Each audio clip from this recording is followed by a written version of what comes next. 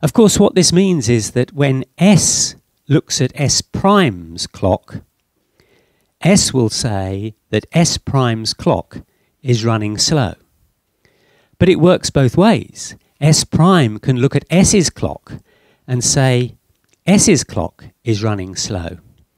How can that be? How can S say that S prime's clock is running slow and S prime say that S's clock is running slow? It doesn't seem to make sense. I know, let's get this sorted out once and for all. Let's arrange for S prime to double back, land on the top of S, climb down through the little porthole, and then they can actually look at one another's clocks and see what's going on. But I'm afraid that's not going to work because the minute you double back and land on the top of S, you've slowed down. And that's an acceleration. And special relativity doesn't cover the situation where you slow down. You'd have to go to general relativity for that. But in fact, you can show that clocks slow down. Experiments have been performed with fast flying aircraft and very precise clocks to show that there is a slowing down of time. Of course, unless you get to very, very high speeds comparable to that of light, the clock isn't going to slow down by very much, but it does slow down.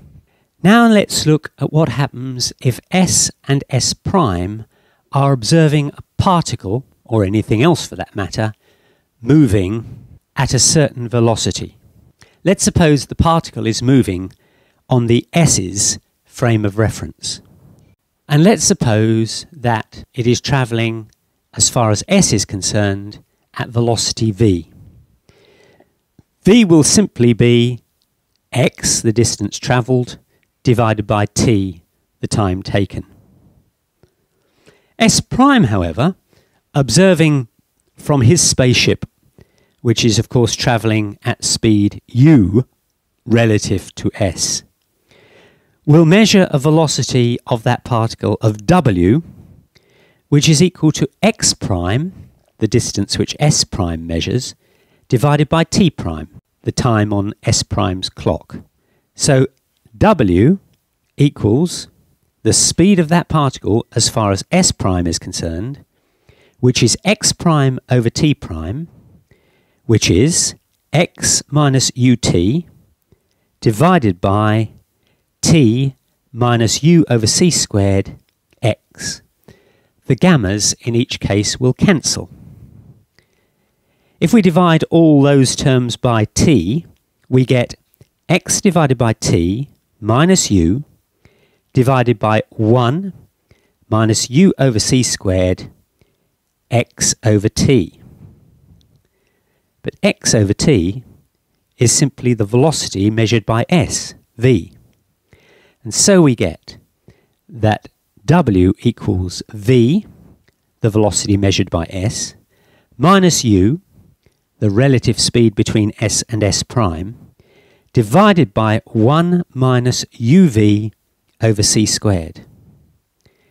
And similarly, it works the other way, that v equals w plus u, divided by 1 plus uv over c squared. If, of course, w equals c, if something is actually travelling at the speed of light, the formula is v equals w plus u divided by 1 plus uw over c squared, and that equals c plus u divided by 1 plus u over c. And that equals c. And that's the result of the Michelson-Morley experiment. It doesn't matter what the relative speed is between s and s prime. If a particle is travelling at the speed of light on s, it will also be measured as travelling at the speed of light by s prime, irrespective of what the relative speed is between them. We now move on to a concept called time dilation. Let's take an event that takes place on the S's frame of reference. And let's suppose that its duration is t seconds. Now S is entitled to claim that he is stationary and that therefore there was no distance travelled. x is therefore 0. What does S prime say? S prime says that T prime equals T, which now we know is capital T seconds, minus U over C squared times X divided by the square root of 1 minus u squared over c squared. But x is 0. And so t prime equals t divided by the square root of 1 minus u squared over c squared.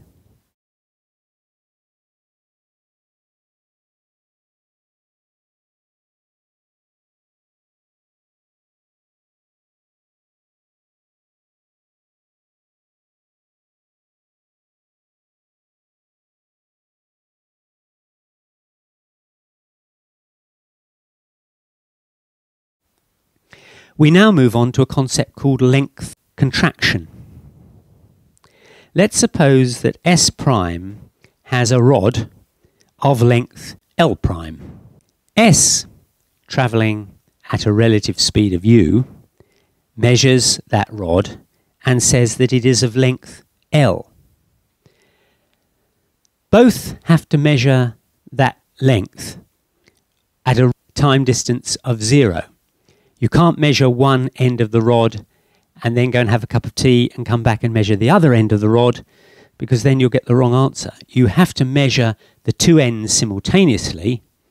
That way you will get the correct answer for the length. So, S prime says that L primed equals L minus 0, since there is no time difference, divided by the square root of 1 minus u squared over c squared. In other words, L equals L prime times the square root of 1 minus u squared over c squared. And that means that a moving rod appears to be shorter. As you move, so the things that are not in your frame of reference get shorter, their length contracts. The only length that appears to be correct is the length that's moving with you everything else appears to shorten. Now let's consider causality. If two events happen, event 1 followed by event 2, is it possible to see event 2 before you see event 1? Well, yes it is, very easily. Let's suppose that we have two stars. One of them is eight light years away. The other is two light years away. On the first star, an event happened four years ago. On the second star, an event happened two years ago. Which event will you see first? Well, the answer is you'll see the event on the second star today, because that will have taken two years to get here, and we will see it today. The event that happened four years ago on the other star is still travelling. It will be four years before we see that event.